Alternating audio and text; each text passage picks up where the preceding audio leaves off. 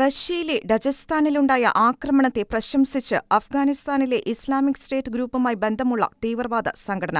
മാർച്ചിൽ മോസ്കോയിൽ നടന്ന തിയേറ്റർ കൂട്ടക്കൊലയുടെ ഉത്തരവാദിത്തം ഏറ്റെടുത്ത സംഘടനയാണ് ആക്രമണത്തെ പ്രശംസിച്ച് രംഗത്ത് വന്നിരിക്കുന്നത്. തങ്ങൾ ഇപ്പോഴും ശക്തരാണെന്ന് കാണിച്ച കോക്കസസിലെ സഹോദരങ്ങളാണ് ഇത് നടത്തിയത് എന്നായിരുന്നു സംഘടനയുടെ പരാമർശം.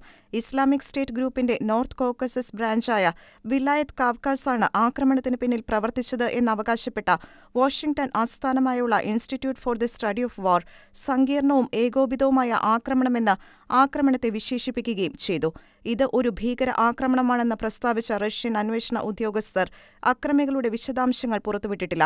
ആക്രമണ ദിനത്തെ ഡജസ്ഥാന്റെയും മുഴുവൻ രാജ്യത്തിന്റെയും ദുരന്ത ദിനമെന്ന് ഡോർബെന്റിൽ ആക്രമിക്കപ്പെട്ട സിനഗോഗും പള്ളിയും തിങ്കളാഴ്ച സന്ദർശിച്ച ഡജസ്ഥാൻ മേഖലയുടെ തലവൻ സെർജി മെലിക്കോ വിശേഷിപ്പിച്ചു.